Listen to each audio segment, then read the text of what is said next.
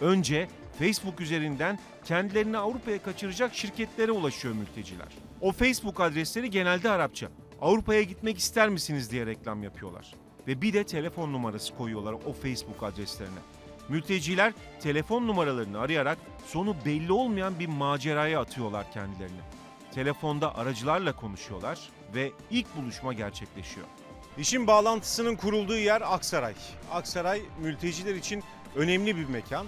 Çünkü yurt dışından kaçak olarak Türkiye'ye gelenlerin buluştuğu yer burası. Mülteci aracıya nereye gitmek istediğini söylüyor kaçış yollarını öğreniyor ve bir de patron denilen kişiler var. Mülteciler bunları hiç görmüyor. Büyük patron var, insan kaçakçısı kendisi Türk zaten ve onunla çalışan Suriyeli ve Iraklılar, Araplar var. Aksaray bu işin merkezi. İlk önce patron denen kişiyle görüşemiyorsunuz. Hep aracılar kullanılıyor. Büyük patronla konuşacaklarımızı önce aracılara anlatıyoruz. Aracılar bilgi getirip götürüyorlar. Görüşmeler defalarca sürebiliyor. Canlı örneğine bizzat Aksaray meydanında şahit olduk. Aksaray'da eee, arkamda görebiliyorsunuz onlarca yüzlerce mülteci var ve bu mülteciler arasında eee, bunların yurt dışına nasıl kaçacakları konusunda kurulan bağlantıları ca- canlı canlı görebiliyorsunuz.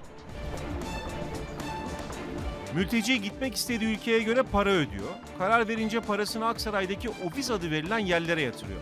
Ve karşılığında da kendisine bir şifre veriliyor. Bu şifre onun güvencesi.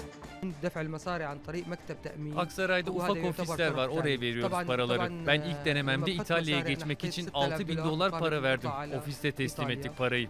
Parayı verince karşılığında bir şifre veriyorlar sana. Bunu gizli tutuyorsunuz. Gitmek istediğiniz yere ulaşınca Simsar'a o şifrenizi söylüyorsunuz ve o da o şifreyle Aksaray'daki ofisten parasını alıyor.